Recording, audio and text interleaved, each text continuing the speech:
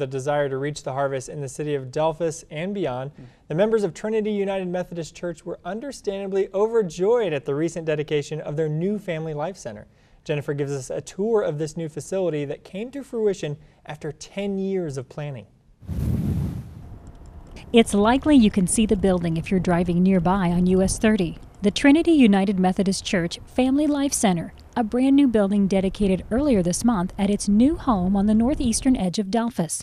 Trinity has a long standing solidarity in the city of Delphos, a church with a servant heart mentality, continually seeking new ways to build God's vision. And in fact, that's the slogan that has kept this project in focus from the start building God's vision to serve. Started uh, back in 2004 when we were kind of uh, wanting to understand a little bit better as to what the church needed to be uh, just to serve our congregation seven days a week.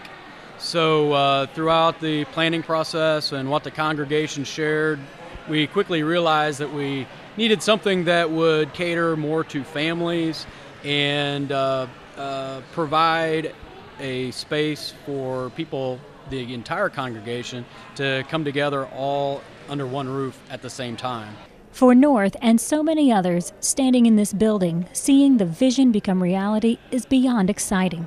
The church launched a capital campaign in 2009, purchased the land in 2010, and the capital campaign ran from 2010 to 2014.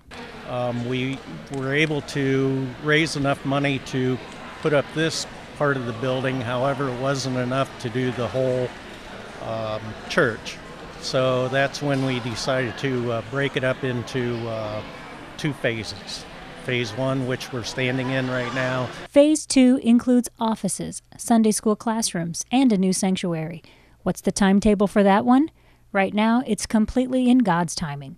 Trinity United Methodist Church instead plans to dedicate this facility to God and see it used to its capacity of His purposes now.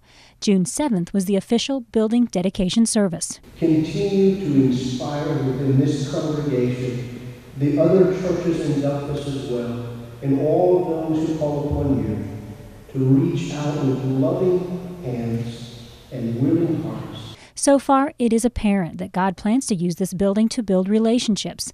The Tender Times Daycare is housed here, an opportunity for some of the area's youngest residents to spend part of their formative years in this type of environment.